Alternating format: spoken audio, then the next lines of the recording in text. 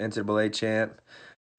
What's up, guys? How you doing? It's Kyle Snyder, Olympic champ, world champ, NCAA champ.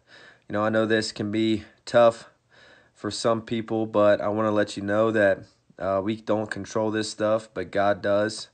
And we do get to choose our response. So let's be positive. Let's have a good attitude and let's use this time uh, to improve ourselves. You know, I don't want to hear any complaints. I don't want to hear anybody talking about how they're bored because there's always things for us to do, whether it be study film, work on your schoolwork, uh, study the Bible, whatever it is. Uh, you can use this time to improve yourself. And then my challenge for you guys today is to do 15 minutes of stance and motion. But my challenge for you all for the rest of your life is to visualize for 10 minutes every day.